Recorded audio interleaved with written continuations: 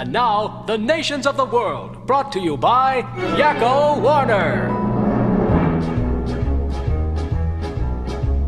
Texas.